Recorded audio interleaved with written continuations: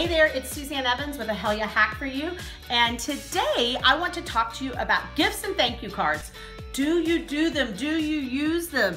It's so important to thank your clients for trusting you to partner with them on their business. It's so important to thank people when they do something nice for you. I know this is like Miss Manners 101, but I don't see enough people reach out and say thank you. I don't see enough people acknowledge people for the leap that they've taken to grow their business or to join one of your programs. So it doesn't have to be a big thing, but what we do, and this is a this is the real tip here, is have have four or five different gifts, a female gift, a male gift, a food gift, a flower gift, a office gift that's more businessy, a personal gift, and get to know your clients a little bit. Sometimes we'll send out a survey and say, what do you like more, spa or home furnishings or food or, you know, give them a few examples. Then when they choose it, we can give them and send them a customized gift that our team already has uh, on the docket to be able to send out at any minute. So get creative with gifts. Don't forget to write thank you notes